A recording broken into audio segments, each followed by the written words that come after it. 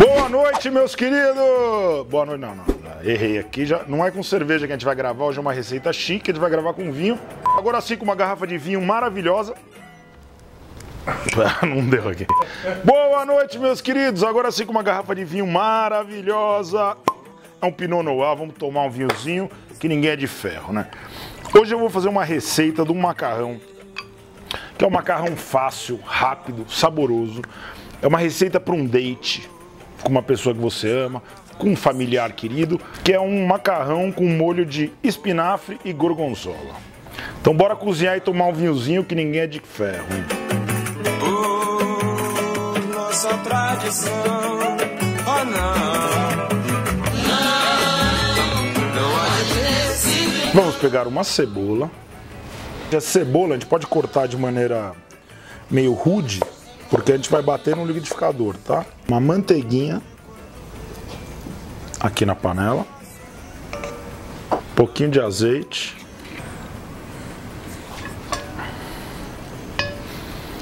Aí vamos refogar a nossa cebola. Um pouquinho de sal. Aqui eu tenho um maço de espinafre lavado. Eu vou tirar os talos maiores, tá? Que a gente não precisa desses talos maiores. E vamos jogar na panela aqui.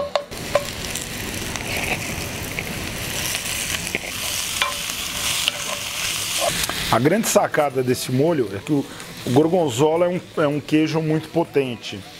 E, e o espinafre, ele ameniza um pouco da potência do gorgonzola e balanceia.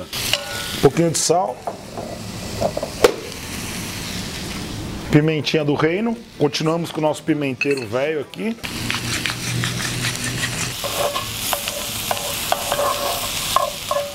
E aí uma vez que o espinafre e a cebola murcharam, a gente vai pegar um liquidificador,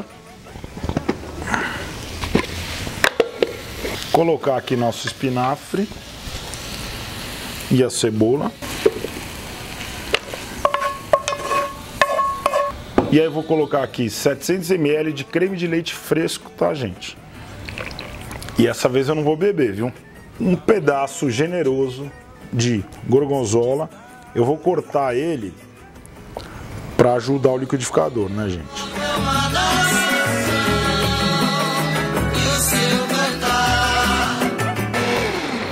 Aí temos aqui, gente, nosso creme de espinafre, gorgonzola, cebola e creme de leite fresco, tá? Vamos separar ele aqui. E aí vamos fazer o nosso molho, tá? Aqui eu já tenho uma panela com água fervendo para cozinhar a massa. A massa aqui eu tenho um rigatone maravilhoso. E é legal o rigatone porque esse creme ele vai entrar dentro dos tubinhos, entendeu? Manteiga. Tá, vou pôr uma colher gorda de manteiga aqui. Vou pegar um fouet, que é esse apetrecho aqui. Vou jogar a mesma quantidade de farinha de trigo, tá? Mais ou menos umas 80 gramas aqui. O roux sempre é assim. A gente vai mexendo e deixando a manteiga é, cozinhar a farinha de trigo, né? E aí depois que a farinha começou a ficar um pouquinho com uma corzinha, tá? Eu não quero uma um, um bechamel, né? Com o nome desse molho muito amarelo, muito tostado. Então eu vou entrar aqui com leite, leite integral frio, tá? Joga tudo, acredita e mexe e vai engrossar. Mexer, beber um vinhozinho. Aliás, eu queria falar para todo mundo que assiste, que curte nosso canal, para dar aquele cliquezinho, aquele likezinho que não custa nada, que ajuda. A gente aqui é um programa de guerrilha, não temos patrocinador, não temos nada.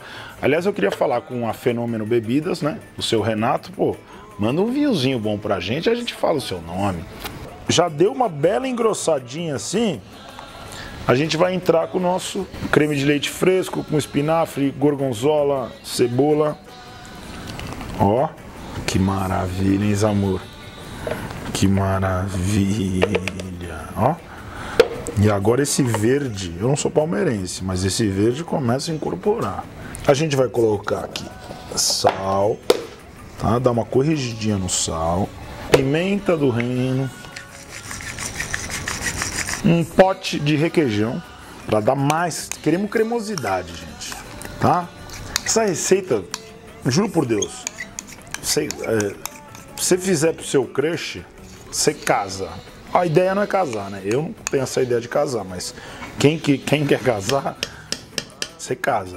Noz moscada é um tempero maravilhoso. Porém, porém, diz a lenda que ele é alucinógeno. Antônio, traz o ralador para mim. Eu ponho pouca ou muita noz moscada? Bota bastante. noz moscada é alucinógena. Então, gente, use com parcimônia. Que diz que você diz a lenda que você comer um desse aqui, você uh, tipo tomei um ácido, aquelas coisas malucas. Então vamos pôr pouca noz moscada, mas precisa pôr porque funciona muito nessa receita. É um perfume, é um perfume. Nossa, eu amo noz moscada. Eu nem sabia que era alucinógeno e eu já gostava. E aí temos esse molho fenomenal, maravilhoso. Temos nossa água borbulhando, nossa, eloquentemente. Ó.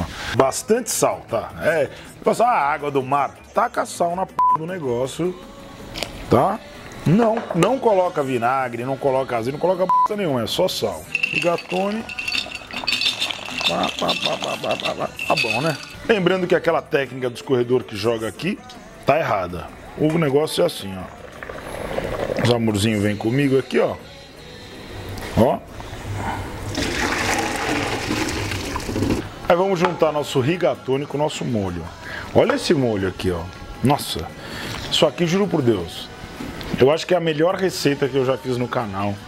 Em custo-benefício, em trabalho. É uma receita fácil, barata. Vou jogar, hein?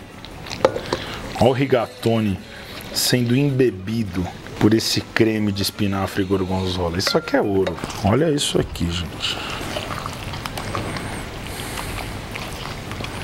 Desliguei e tá pronto. Essa delícia maravilhosa. E vamos comer, né? Um belo de um parmesão nesse negócio maravilhoso aqui, ó. Ó. Nossa senhora. Temos aqui esse macarrão com molho maravilhoso. Eu vou me servir. Nossa, que delícia. Olha isso, gente. Eu vou ralar um pouco mais de queijo aqui em cima, ó.